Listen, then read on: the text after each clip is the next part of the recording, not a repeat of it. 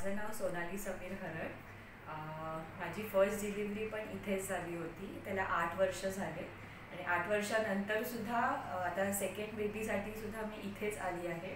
कारण महेश बेडेकरांसारखं आपल्या ठाण्यामध्ये कोणच नाही आहे जेवढे ते कॉपरेटिव्ह आणि ज्या प्रकारे ते आपल्याला पॉझिटिव्हिटी देतात.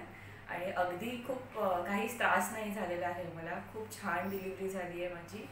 प्लस आपल्या हॉस्पिटलमध्ये आया आपल्या नर्सेस एव्हरीबडी इज लाईक खूप छान की आपल्याला वाटतच नाही आपण असं कुठे घराच्या बाहेर आलो आहे खूप छान ट्रीटमेंट मिळाली. आहे मला थँक्यू सो मच आता ही आमची दुसरी वेळ आहे. याच्या आधी माझी मोठी मुलगी ह्याच हॉस्पिटलमध्ये झालेली आहे. तेव्हाही नॉर्मल डिलिव्हरी झाली होती. तेव्हाही आम्हाला डिलिव्हरीनंतर खूप चांगलं समजवण्यात आलं कसं मुलाचं पालनपोषण करायचं. आणि याही वेळेला आम्हाला तसाच अनुभव चांगला आला आहे.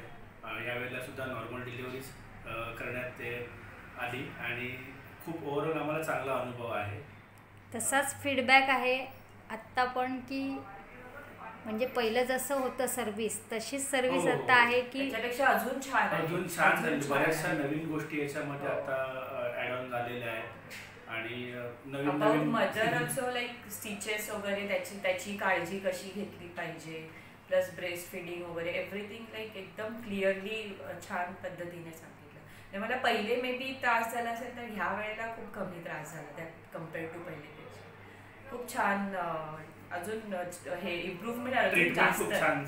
खूप चांगली आहे. आणि मी Overall. आम्ही सगळ्यांना तुमचंच महेश बेडेकरांचंच रिकमेंड करतो. मला खूप असे येतात रिलेटिव्ह आणि फ्रेंड्स विचारतात. So I always recommend Mahesh Bedekar nobody else thank you so much thank you माझं नाव सोनाली समीर हरड. माझी फर्स्ट डिलिव्हरी पण इथेच झाली होती. त्याला आठ वर्ष झाले. आणि आठ वर्षानंतर सुद्धा आता सेकंड बेबीसाठी सुद्धा मी इथेच आली आहे. कारण महेश बेडेकरांसारखं आपल्या ठाण्यामध्ये कोणच नाही आहे जेवढे ते कॉपरेटिव्ह आणि ज्या प्रकारे ते आपल्याला पॉझिटिव्हिटी देतात. आणि अगदी खूप काहीच त्रास नाही झालेला आहे मला. खूप छान डिलिव्हरी झाली आहे माझी. प्लस आपल्या हॉस्पिटलमध्ये आया आपल्या नर्सेस एव्हरीबडी इज लाईक खूप छान की आपल्याला वाटतच नाही आपण असं कुठे घराच्या बाहेर आलो आहे खूप छान ट्रीटमेंट मिळाली आहे मला थँक्यू सो मच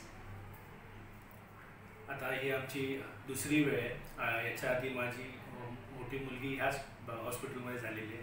तेव्हाही नॉर्मल डिलिव्हरी झाली होती. तेव्हाही आम्हाला डिलिव्हरीनंतर खूप चांगलं समजवण्यात आलं कसं मुलाचं पालनपोषण